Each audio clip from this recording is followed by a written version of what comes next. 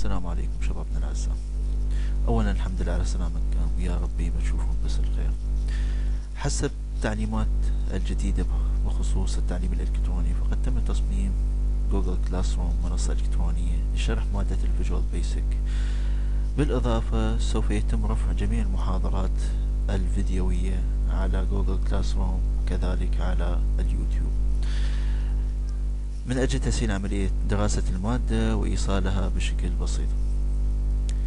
بالنسبة للمحاضرة اللي فاتت تم شرح موضوع ال message box وتم أخذ فكرة كاملة على هذا الموضوع. سوف أقوم بإعادة شرح هذه المحاضرة بصورة سريعة في هذا المقطع ثم سوف أقوم بشرح باقي تفاصيل المواضيع القادم في المقاطع القادمة. خلينا نبدي بسم الله الرحمن الرحيم. بالنسبة لموضوع ال message box. موضوع ال message box هو موجود في صفحة 26 بالملزمة. ال message box بصورة بسيطة هو عبارة عن رسالة بسيطة تنبهني بوجود شيء معين أثناء البرنامج. يعني مثلا في حالة فتح أي برنامج مثلا وليكن برنامج ال Visual Studio. في حالة فتحت برنامج معين بال Visual Studio.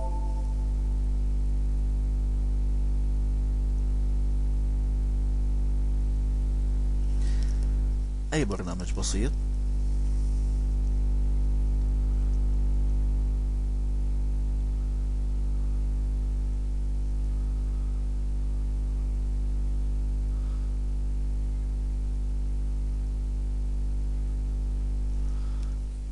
ثم بعد ما أفتح أي برنامج أحاول الخروج من هذا البرنامج سوف تظهر عندي رسالة بسيطة وهذه رسالة تسمى رسالة ال message box.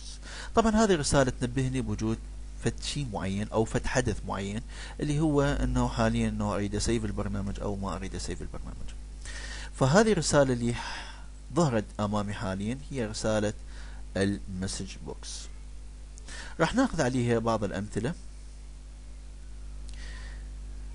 اللي هو المثال اللي موجود عندنا صفحة 26 بالملزمة.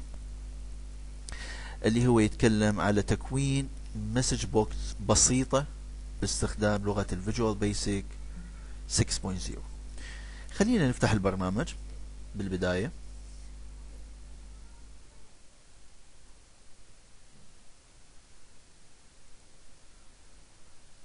مثل ما تعودنا عملية فتح البرنامج. إنه أفتح البرنامج بعدين أختار Standard EXE بعدين أقول له OK.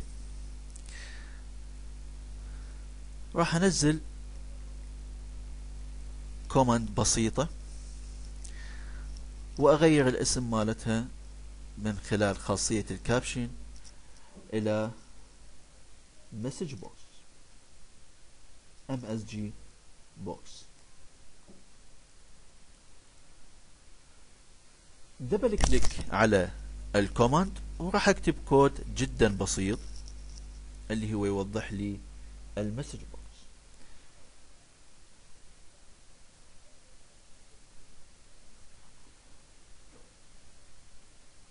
راح أقول له MSG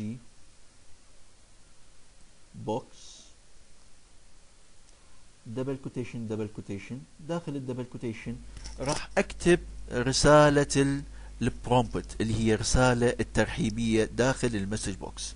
الرسالة الرئيسية اللي تنبهني بوجود حدث معين. مثلا do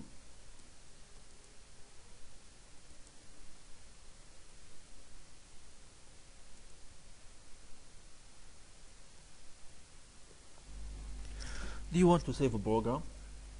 بعدها راح اخلي فارزة بسيطة. واختار إحدى الاختيارات اللي موجودة عندي اللي هي تمثل لي ال commands اللي راح تطلع عندي خلال ال message box يعني مثلا أريد أختار yes و no cancel أو أريد أختار okay و cancel أو أريد أختار أي شيء ثاني.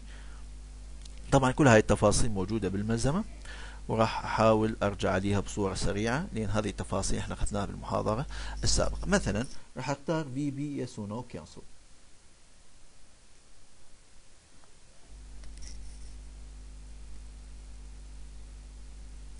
بعدين راح أخلي فارزة وأكتب ال title اللي خاص بال message box مثلا نقول له exit.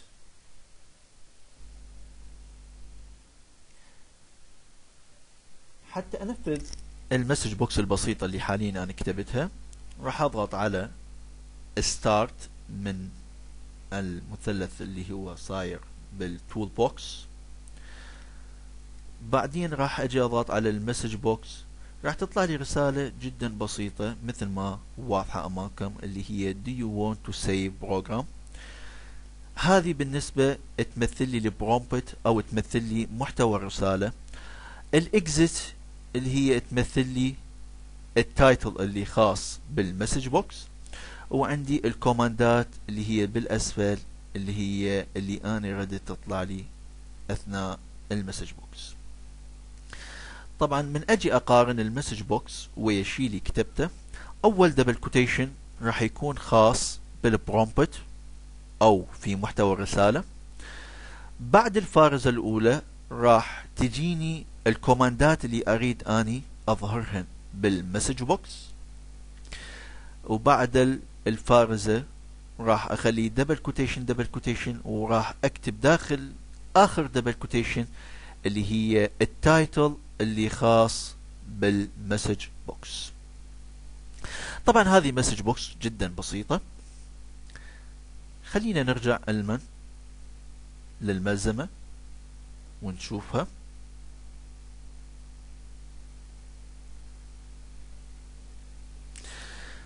بالنسبة للملزمة بيها two tables ال tables الأول اللي هو يمثل لي الأشكال اللي تظهر عندي أثناء تكوين ال message box مثلا رقم 16 اللي هو VB Critical اللي هو علامة ال X. رقم 32 يمثل لي VB Questions اللي هو علامة التعجب.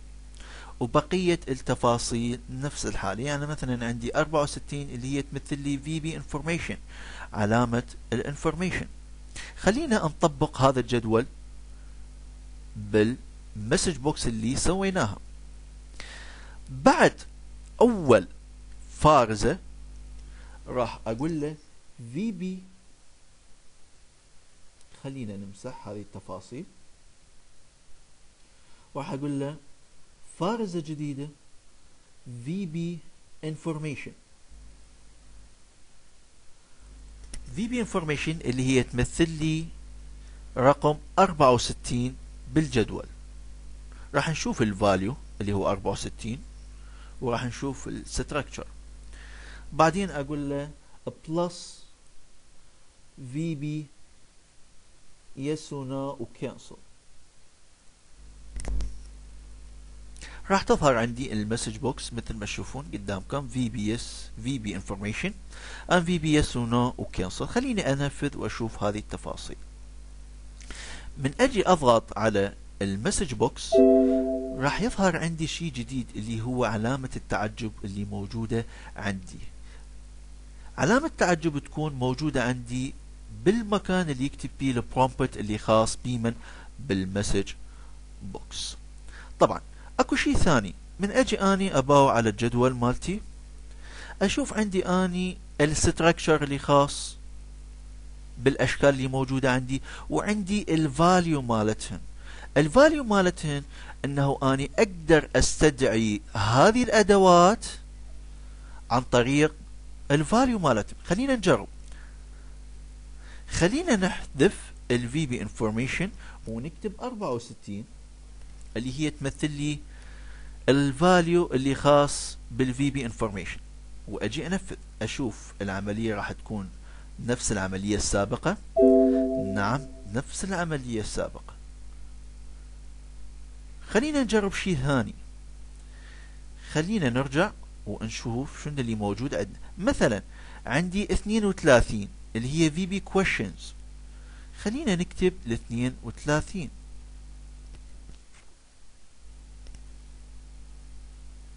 وراح أجي أنفذ البرنامج. اذا طلعت عندي علامة ال ال information أو ال questions اذا أني بالبرنامج أقدر أستخدم ال variables أو ال value العفو وأقدر أستخدم ال structure هذا الشيء خاص بي أني.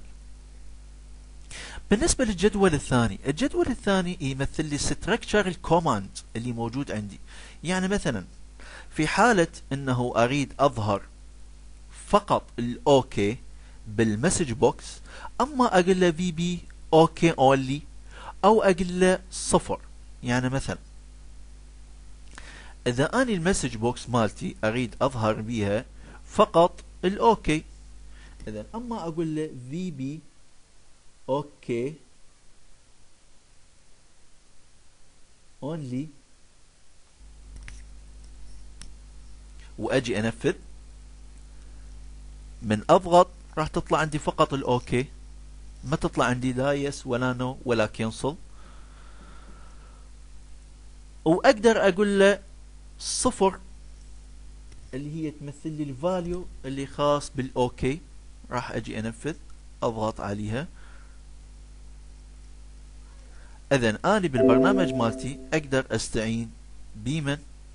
أستعين بالأرقام أو أستعين بمن؟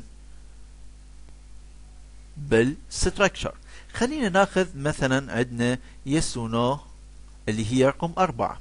إذا أريد أظهر yes و no راح أقول له رقم أربعة.